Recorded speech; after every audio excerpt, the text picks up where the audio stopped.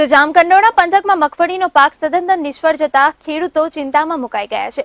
મગફળીમાં પીડિયા નામનો રોગ લાગતા ઊભા પાકને નુકસાન થયું છે. તેથી ખેડૂતોએ પશુને ચરવા માટે આ પાક છૂટા મૂકી દીધો છે. ગુજરાત રાજ્યમાં એમાંય ખાસ કરીને સૌરાષ્ટ્રમાં મગફળીની ખેતી પુષ્કળ કરવામાં આવે છે.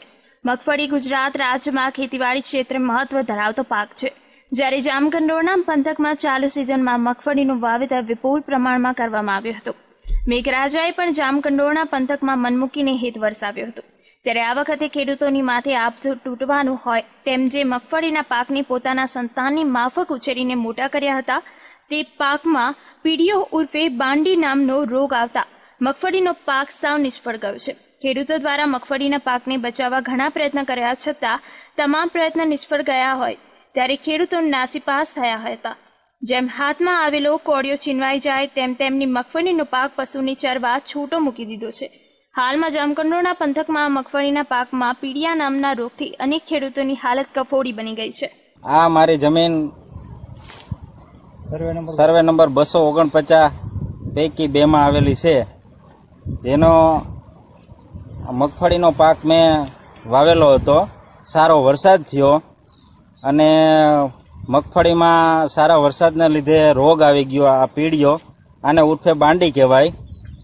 અને આ મેં આજુબાજુની ખેડૂની સલાહ લીધી, એગ્રોવાળાની સલાહ લીધી. એગ્રોવાળા કે આ રોગ કાબુ થઈ જાય તો આમાં ખર્ચો વધી જાય. ખર્ચો વધી જાય તો આના માટે શું કરવું? આટલો બધો ખર્ચો ખેડૂને પોસાય નહીં. બરાબર? દસ મણ મગફળી થાય ખેડૂને. અને દસ હજારનો ખર્ચો થઈ જાય. તો ખેડૂ વાહે વધે શું ખેડૂ કરે શું? બરાબર? આના માટે સરકારે પ્રધાનમંત્રી વીમા યોજના કાઢી છે. એના માટે હું સર, બધી કચેરીમાં ગયો. તો કચેરીવાળા કોઈ જવાબ દેતા નથી. કોઈ લોકો અહીંયા તપાસ કરવા આવતા નથી. તો અમારે આના માટે કરવાનું શું? જેને મગફળીના પાક માટે બહુ કોશિશ કરી. એગ્રોવાળા પાસે ગયા, એગ્રોવાળા ચાર પાંચ જણા આવ્યા, એને એવી દવા છટાવ્યું. વીઘે પાંચસો પાંચસો રૂપિયાની એક ડોઝ થાય પાંચ રાઉન્ડ માર્યા. એક ટકો ફાયદો થયો નથી. એટલે એ બિચારા પ્રદીપભાઈ મૂંઝાણા હતા. હવે કે અમારે હું આત્મહત્યા કરવાનો પોઝિશન થઈ એવી પોઝિશન છે કે રમેશભાઈ શું કરું? મેં કીધું, ભાઈ, કાંઈ એવું કરવાનું થતું નથી. આપણે વરસ હાર્યા છીએ કે ભાવ હાર્યા નથી. ને કુદરત દેવું છે, આવતે વરસ દેહે અત્યારે આ ઉત્પાદન ફેલ છે અને બીજું કાંઈ તું માલ ધારીને સારી દે અને તારે બીજું જે વાવવું હોય એ કાંઈક વિચારી કંઈક અનુભવ પ્રમાણે વાવી દે. બાકી આમાં કાંઈ કંઈ વધે એમ નથી. તે વીઘે ઓછામાં પાંચ હજારનો ખર્ચો કરી નાખ્યો છે. એ પછી વાયા વખતમાં વાવવા વખતમાં મુંડાનો પટ માર્યો, ફૂગનો પટ માર્યો, પણ એક ટકો ફાયદો થયો નથી.